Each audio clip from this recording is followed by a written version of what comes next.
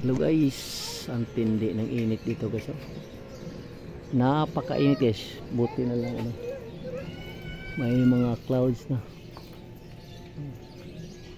Tindi talaga ako. Ito, bahay yun guys. Oh.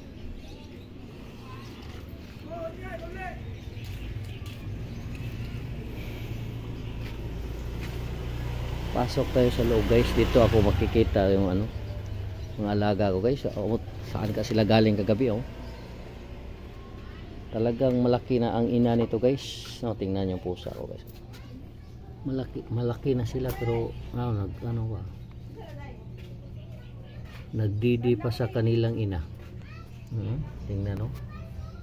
Yung ama. Yan. Oh, himahimbing talaga sila guys. Oh. Sarap ng tulog nila guys. Puntahan natin ang ama guys.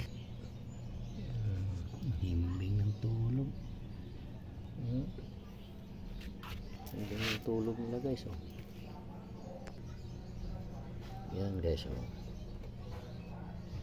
Saan ka to kagabi?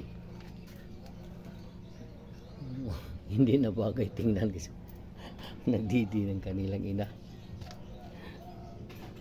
Oh. Nako. Tingnan nyo, ang init-init sa labas, guys. O talagang mainit sa labas, guys, oh. Pero natutuwa akong nagtingin na tong aking mga laga, guys. Oh. Mhm. Ang lambing-lambing nila sa kanilang ina. Ang ina naman nila ay pinadidi pa rin sila kahit mga matatanda na. so, yun lang guys. Salamat sa inyong panonood. Magandang araw sa ating lahat. Salamat sa inyong suporta.